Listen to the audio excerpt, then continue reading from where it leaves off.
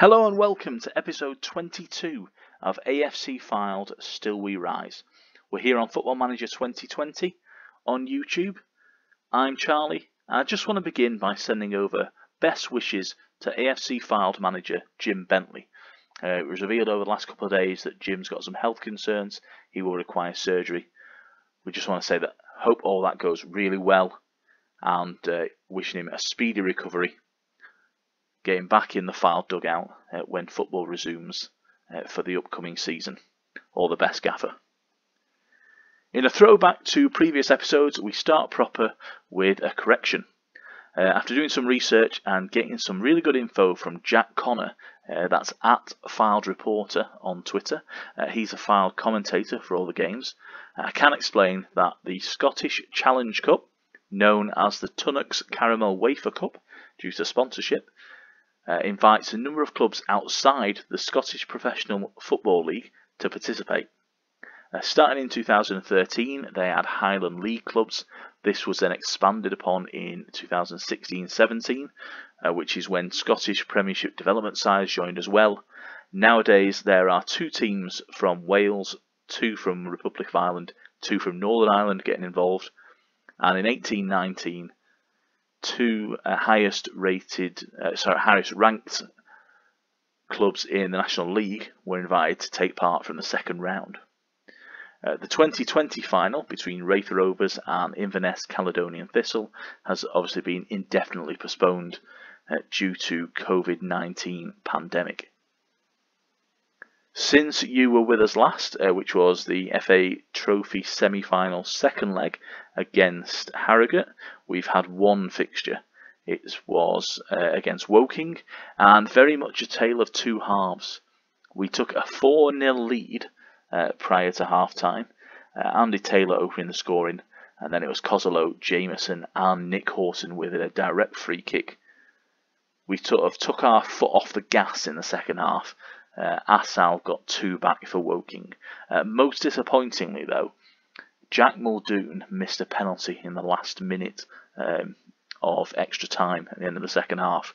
He has been criticised recently for his performance, especially by the board.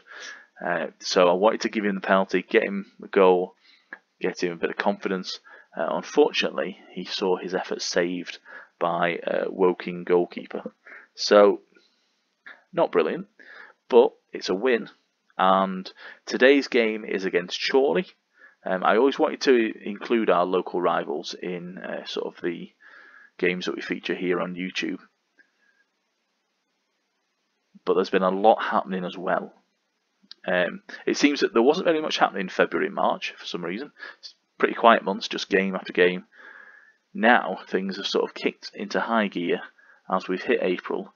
In the last few days, I think more has happened than in the last two months. We start with the Player of the Month uh, award. That went to our very own Nick Horton uh, with his three goals in five appearances, uh, beating the likes of Luke James from Hartlepool and Barrow's Tyrese Francois, uh, who is on loan from Fulham. It was then the turn of myself to pick up uh, another Manager of the Month award uh, for March. we had five wins in six, the only disappointment being that frustrating nil-nil draw against Dover Athletic. John Pemberton second place, and great to see we've just talked about him, Jim Bentley, who has taken over from Dave Challoner at Hartlepool in uh, the world of Still We Rise. Uh, he has begun the uh, road back up to the playoffs for Hartlepool, winning uh, four matches out of six. 66% must be. Uh, David Haythornthwaite, very pleased with the award. Uh, he's uh, been very supportive as of late. That continued to uh, wanting to offer me a new contract. Uh, I only have a contract at the end of the season, as you often do when you start playing Football Manager. So uh, we had that to come, and then we got our intake of youth players. I haven't really looked at these guys yet. The friendly match between the under 18s and these uh, youth candidates is scheduled to take place on the 6th of April. That's in three days' time. So I was going to wait until that had taken place first. Uh, but he's uh, Kenny McKenna, my assistant, has been championing this chap, David Barlow. Uh, his stats look pretty good for a youngster, you know. Anything over a 10, I'm quite impressed by. So, uh, his potential ability, though, you know, not brilliant there, is it? Something to work on. Uh, but that is a strong side party. Uh, the contract uh, came through. Uh, unfortunately, uh, it wasn't what I had expected. Uh, they offered me a contract 1.2k a week. Uh, longer suffering viewers will remember that right at the start of the season, when I was looking at the staff, I realised that Kenny McKenna, my assistant, is paid more than I am. So I'm on 1.1k at the minute. He is on 1.2. And in our contract negotiations, I was hoping for around 1.4. They're just not willing to offer me that yet. So I'm not panicking. I'm hoping that by winning the league and hopefully winning the FA Trophy, uh, Wembley, that we're heading back uh, down to London for, that gives me a bit of bargaining power, that gives me some influence, and hopefully that means I can get a little bit more cash out of David Haythornthwaite. Uh, there's been a lot of articles as of late talking about records we're going to break. Uh, we're in line for the record points haul, uh, not only for the coasters ourselves, but the Vanarama national record, which is 105 points. Victories, we've got 30 wins at the moment, the record's 31. Uh, so we can actually match that with a good uh, performance against Chorley. And then the goals tally, we've scored 102 this season. Uh, the record is 103. So we're doing pretty well in that regard. In terms of our team selection, it's fairly uh, recognisable by now, fairly standard. Uh, the only difference I've, I've made this time is Muldoon's come in for Matty Kozolo. Uh, and I do want to put Andy Keller on the bench. Uh, we'll replace Bradders because uh, Andy Taylor is struggling a bit at left back. Um, he was beaten at all ends up by Asal for Woking's second goal. It was a clearance from a corner, and he was caught out in no man's land, and he went by him like he wasn't there. So uh, I don't think Taylor will see out the game. Alex Whitmore is also struggling, so I think we'll take him out of the team, replace him with Byrne, and then on the bench I'm going to bring Lewis Montrose on because I think he can. He's got the attributes to be able to cover in defence if required. This is uh, the only fixture of the day. This will actually take us uh, two games clear of Barnet, um, hopefully with a win. If it does, the amount of games that Barnet have got left to catch us are dwindling. So Barnet have got six games left, which is 18 points. So 18 plus 88, uh, this is what our maths lets me down, is 106. So that's their maximum total that they can get. So we're seven points away. Um, probably eight because we'll need one. One point in the bag, won't we? So that's three wins. So whatever happens, uh, three wins out of three for the next games will uh, see us home. Our next few are actually, we talked last time about it being really tough. We've got Jim Bentley's Hartlepool, Ebbsfleet and Torquay both in playoff picture, as are Wrexham. So, I mean, if we can get it done as soon as possible, I would be quite pleased. But obviously, we also hope that Barnet will drop some points as well. Uh, yeah, it's always nice of uh, Football Manager to explain something that I've already explained. They're obviously not aware of that, to be fair. Uh, but yeah, Andy Taylor, I think, we'll give him the first half, uh, but that's it. I don't think uh, he's going to make the full game. Uh, the media predictions are that we will uh, do pretty well in this one, but it's a local rivalry. I've done a lot of press this week. I mean, we've had a press conference, and I think I've answered three separate questions that have been have been sent over. So I'm going to let Kenny earn his 1.2 wage by uh, talking to them. Looks like Chorley have already got an injury. I think I spotted there. I saw a flash of orange. I did indeed. Shoney Shonibar. I'm fairly sure that's not how you pronounce it. Uh, their left winger. Uh, it doesn't seem that bad in terms of condition. So, um, looks like he's on the road to recovery. Uh, this is a concern. I think Chorley will do well in this game. Uh, teams tend to raise their game for playing against their local rivals. But uh, Williams here on the left, tackled and it's cleared. We're looking for that width again. There we go. Uh, Andy Taylor's made the run, ignored for now, but Muldoon into the box. And there he goes, an assist for Jordan Williams. Williams is 19th of the season, and Muldoon, you know, getting back on track here. It's him with the run. Actually, Luke Burke uh, made a good run himself, but sort of pulled out and let Muldoon uh, take over. Muldoon just giving it to the fans behind the goal there. Fair play. I mean, why not? Uh, but that's really good to see, especially from Muldoon. Um, as I say, he has been criticised in recent weeks for his performances. Uh, not always his fault because he's been in and out of the team. Matty Kozlow's played really well. Uh, he scored against Woking, after all, um, as evidence of that. But we've got Williams with a corner. Irwin in the uh, Chorley goal, dressed, I think, the same as I am, uh, with the, the light blue National League top. Great running by Muldoon. Not a good enough finish, though. Uh, Irwin, sorry, dressed in the classic National League blue uh, top, black trousers, or shorts, I, suppose he's wearing. Uh, same as myself, and in fact, I will stay with that uh, with that outfit until uh, until we get to the Premier League. At which point, I'll put a suit on.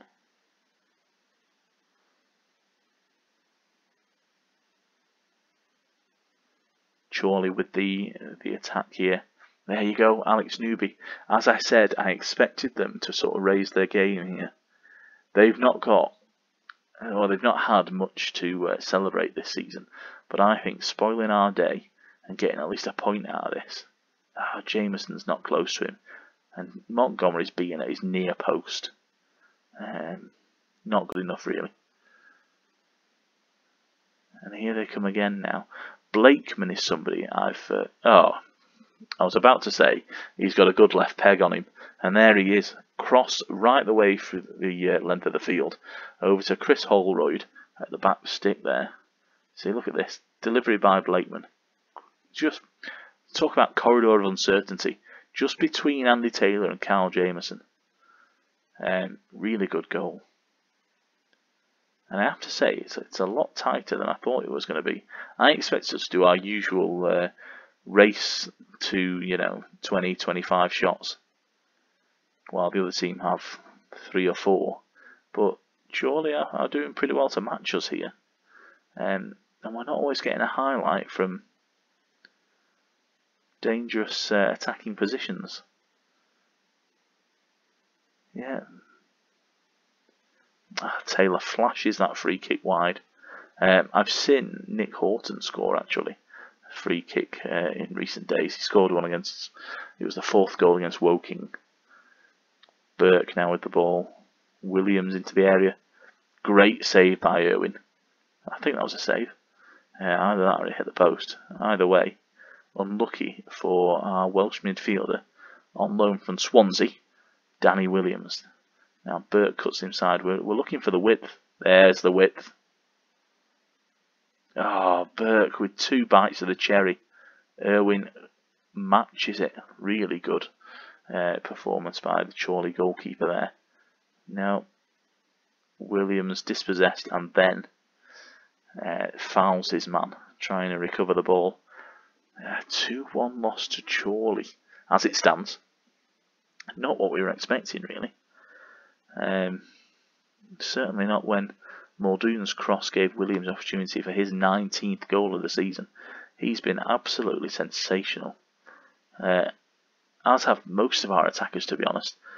Uh, Jamie Proctor, I don't think we, we give the credit that he deserves to. He's got 21 goals. Then you've got Williams. Kozlow's chipped in with some absolute bangers. And we signed Muldoon halfway through the season. Um, he's fast, sort of got up to you know six, seven goals, plus he's making assists. Um, and here he goes again. What can he do from here? And it's a it's a second assist for Jack Muldoon. At this time laying it on a plate for midfield runner Nick Horton. Nick Horton there celebrating his new contract that he got in the last episode with a, oh, a tidy cushioned finish. Just easing it in off the foot. Don't have to put a lot of power on it. Just diverting it past Irwin. And now, can we get a second? Uh, sorry, a third? A second in quick succession even. We are peppering the Chorley goal just as half time is about to strike. We're not going to want half time, are we? Taylor with the ball. What's he going to do with it? It's the third. Jack Muldoon Andy Taylor with the assist. Muldoon now involved in all three goals. Two assists, one for himself. That is a performance. Considering that he missed a penalty against Woking, he has retaliated. Great feat. Just adjusted himself there to get over the ball, kept it down. Irwin, not a chance. And that is half time. What a half. This is on TV as well. The BT Sport boys are in town. You know, Matt Smith give me the thumbs up as we go back into the tunnel. I'm really pleased with how things are going. But we did uh, make a decision that we were going to take Andy Taylor off at the break, didn't we? I say we, I mean I. Carl Jameson suffering a bit, but I'm going to leave him out there. Uh, the plan is actually Jordan Williams to come off at some stage. Um, either for our loan signing Jovan Malcolm or Matty Kozolo, uh, who is on the bench for this one. Uh, in fact, I'll just encourage the boys because I don't want to get complacent here. This is what happened against Woking in the second half. We took our foot off the gas, and next thing you know, they've pulled two goals back. So I think, especially with it being 3 2, we just need to stay alert and uh, on top of our game here. Got to compete for every ball. That's a really good uh, example of that. But Muldoon with a tame effort into the arms of Irwin. I was saying before, Blakeman at left back is somebody I do quite like. He's got a, a decent peg on him. Um, although I have been looking at the squad for next season, and depending on what we do with Andy Taylor. We're either going to need one. Oh, great goal from Daniel Williams. Stand and deliver. Gets on the ball, gets it back. He's actually coming back from Muldoon here. Burke's going to play inside to Muldoon, who's going to lay it back. Look at the space there. So much time and space. You have a coffee and a, and a Tim Tam biscuit. Williams with a great finish. The uh, Welsh under 21 international we brought in due to Tom Walker's injury. Uh, so he fires his first goal for the Coasters. But three assists by Jack Muldoon, a goal for himself, and we're 4 2 again for the second time in two games. But as I was saying, sorry, before that, Blakeman does have a really good left peg on him. Um, and it's Carl Jameson with the corner, a corner ball. Corner over from Nick Horton, corner goal from Carl Jameson. Um, Oh, Irwin should do better there, but we'll take that every day of the week. One of the things that I will do at the end of this season is a corner tutorial, just to show how we've scored so many goals. We've scored so many with uh, set pieces. We are top of the charts by miles. Um, I'd love to have a look at the other leagues and just see what the comparison is. Uh, we will do that, I think, this weekend uh, coming up because I want to get the league out of the way. Oh, Muldoon with his second. This is the Muldoon show. Jack Muldoon, after missing a penalty, after being chastised by our own board. Oh, Irwin. Irwin with the comical early dive. Uh, but Muldoon with the finish. It's 6 2. We have just hammered Chorley, and there's still 20 minutes to go. In fact, while we're here then, let's take some boys off. So, I'm going to bring on Jovan Malcolm for Jordan Williams. Inverted wingers probably his best one out there. Yeah. Uh, he is predominantly uh, right-sided. And then, I'm not going to bring off Muldoon this time. Nick Horton. take Nick Horton off. Uh, he scored and played really well. Very important player for us now. Let's take uh, him off for Lewis Montrose, who actually we will drop back. That's what we'll do. Just, uh, it's very difficult to get through this sort of setup, I find. Uh, I think he's a ball winning, yeah. I mean, it's always a risk to play a ball winning midfielder because they just dive into tackles. Um, yeah, one of the things that I have been looking at has been um, the squad for next season. So having a look at who we've got on the books.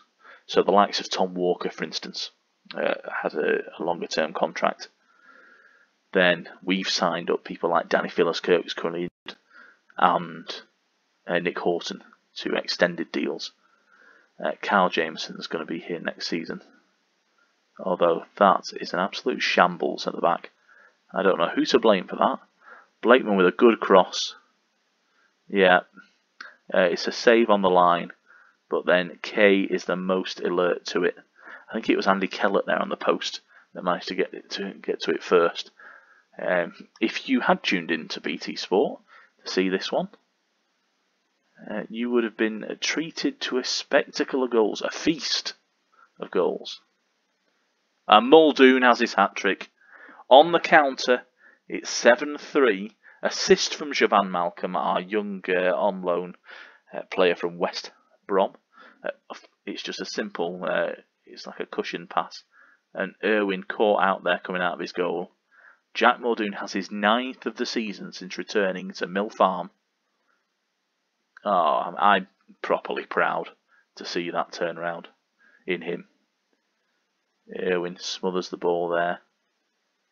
But not sure what this, uh, how this highlight's going to materialise here. We seem to be under a lot of pressure from Chorley. Uh, I'm struggling to clear the ball, which you never want to see. I think somebody needs to put a foot in here, boys. It's over the bar. That's what we were finding out.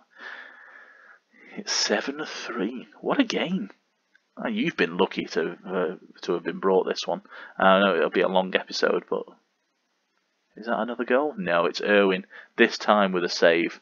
I mean, it's he's performed extremely well, but uh, yeah, Blakeman's certainly somebody on the radar. After this game, uh, I'll just uh, add him to our shortlist. See if we can scout him for the remainder of the uh, season. Because we will need another left back. Andy Keller, I don't think he's going to be offered a new deal. So in terms of looking at the squad for next season. Uh, I'm fairly sure that we'll keep hold of Andy Taylor. Uh, and what a game! 7 3.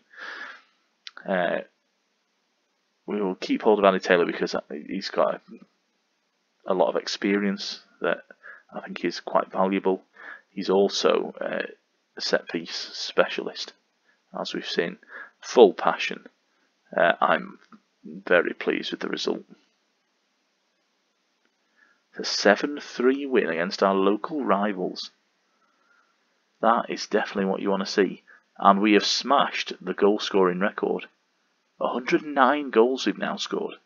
Admittedly, we must have conceded more than 40, which is more than Barnet. Uh, oh no, sorry. I need to look at the uh, I need to look at the proper stages down after that. Yeah, we have we have conceded 47 compared to Barnet's 30. I think it's uh, one of the things that I've been reading recently is about whether defences or attacks win you titles. I've got a feeling that defences win you titles, attacks win you cups. Uh, but we seem to have uh, outscored Barnet by 39 goals, but they've conceded 17 less than we have. Um, interesting to see. So we are on course to achieve the record points haul. we're on course uh, to achieve that for both uh, ourselves and for the league. And we've just uh, hit our marks for goal scoring. The next thing to do is the record for number of wins in a season, which I think was 31, so I think we've matched that now. In terms of the league, Woking are down there at the bottom. They're now they're they're gone. I mean, they're 13 points behind Chorley. It's not going to happen. Same for Boreham Wood, to be honest. The the fat lady is uh, she's if she's not already started singing, she's tuning up. And then you've got Halifax, who are six points shy of Chorley, but with two games in hand. So that'll be interesting. I wonder if Halifax are one of Barnet's still to play, because uh, there are a few teams that uh, look. Oh no, they're not. They've got Eastleigh, Dagenham. Ooh, that's going to be a big game there. On Friday the 10th, uh, away at Boreham Wood. And they've got Stockport on the last day. Uh, Stockport, I think, are mid-table now. Yeah, 18th, uh, which is you know their first season back in the National League. Fair play to Jim Gannon there for sort of steadying the ship. Of course, in real life, they've had investment with new owners and things like that. So, uh, and obviously finished just outside the playoffs when points per game were applied. We now are just two wins away from winning the National League. So, a lot's going to depend on what Barnet do over the next couple of games. So, let's see if we can look at fixtures. So, there we have it 7 3. Muldoon with a great hat trick. Uh, and he got three assists in that game.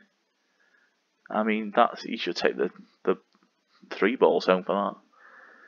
So Barnet have got Sutton away, tough game. Now we don't play on Saturday, um, or the following Tuesday when Barnet are at Boreham Wood. So two losses. Would we win the title after two losses? I mean, they're not going to lose two games. If they do, I think we just need one more point. If my maths is working. No, if they lose, it's 12, isn't it? So, right, if they lose, if they lose those two, we've won the league already. I mean, this is exciting times. Great to see as well. Tom Walker, average rating, top of the shop. Can we just have a quick look? Ah, yes. Proctor and Williams uh, 17 and 15 in the league respectively. But Josh Umerah, 28, Kean Harrott, 26. I mean, they are certainly boys that warrant uh, a second glance, I think. Uh, hmm, does worry me, doesn't it? That of the two uh, two players earning the most yellow cards this season, they are ours.